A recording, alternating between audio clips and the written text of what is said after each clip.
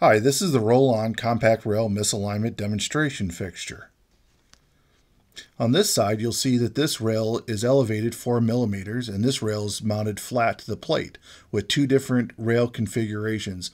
One allowing the bearing to be captured, the other rail allowing it to uh, move freely back and forth. Here we're seeing that we're measuring the rail, which is 145 millimeters there and 149 millimeters there, allowing for parallelism misalignment of 4 millimeters. Still allowing the shuttle to move smoothly back and forth with 4 millimeters of misalignment.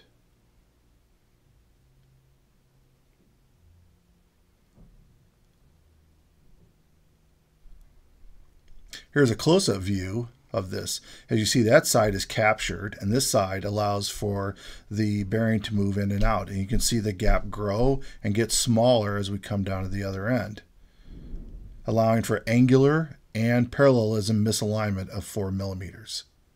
On this, we see the profile rail misaligned the same as our compact rail, 4 millimeters.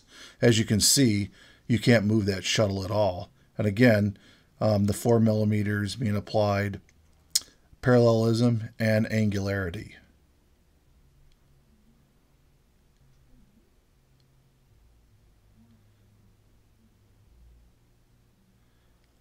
Very, very difficult to move this, of course, as you can imagine.